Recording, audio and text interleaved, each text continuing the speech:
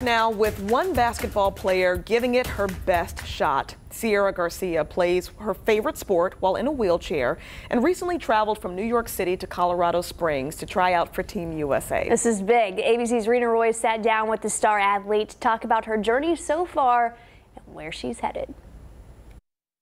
Seira Garcia is full of smiles with a basketball in hand. This one moves it. Ah, it didn't.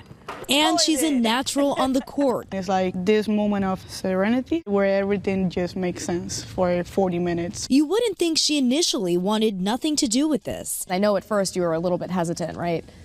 I wasn't a little hesitant. I was a lot hesitant. That's because Garcia started out playing able bodied basketball. But at age 17, she realized it was no longer possible. Ten years before, she was diagnosed with a rare degenerative hip disease called Legg Calve Perthes, and it was advancing. And then it was like, yeah, college level, I'm not going to be able to do it. My body's not going to do it and I was ready to just stop playing. Until Garcia's mother pushed her to try wheelchair basketball in Puerto Rico in 2014. She fell in love after her first practice. Now, the 26 year old Queens College student is part of the brand new team at the City University of New York, which just wrapped their first season ever. What they've done is they've laid a foundation for, you know, the disabled community and the university uh, for something to be proud of. The CUNY wheelchair team is one of 16 intercollegiate programs across the country. The hope is to see even more opportunities for more disabled athletes coast to coast. The power of sports, right, to unite people and allow people to grow and